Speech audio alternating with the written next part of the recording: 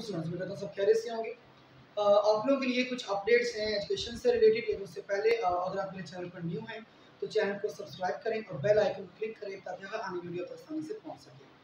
चलें वीडियो करते हैं। बात इस तरह से है कि इस बार जो टेंथ क्लास के एग्ज़ाम्स थे, वो एलेवंथ मई को स्टार्ट हुए थे। रमज़ान के फौरी बाद।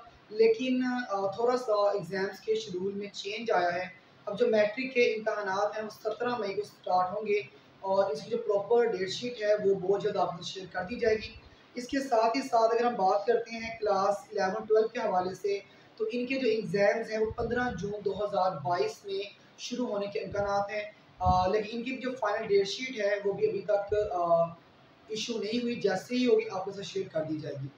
इसके बाद अगर हम बात करते हैं रिज़ल्ट के हवाले से तो जो क्लास टेंथ का रिज़ल्ट है, वो सत्रह जुलाई को शाया किया जाएगा। इसके बाद जो नाइन्थ क्लास का रिज़ल्ट है, वो ठीक टेंथ क्लास के रिज़ल्ट के सात दिनों के बाद सिक्सटी डेज़ के बाद रिज़ल्ट इशू होगा।